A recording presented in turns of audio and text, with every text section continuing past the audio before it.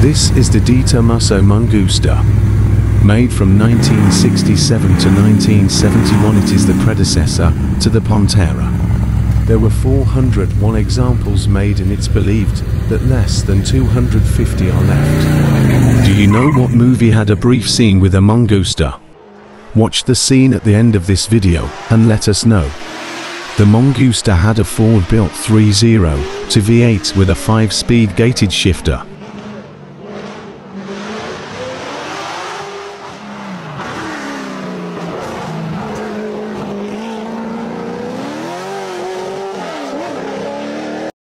The word mangusta means mongoose in Italian. A mongoose eats snakes.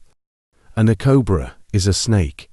If you like this kind of content, then please support us by hitting that like button and following so I can make more videos for my followers.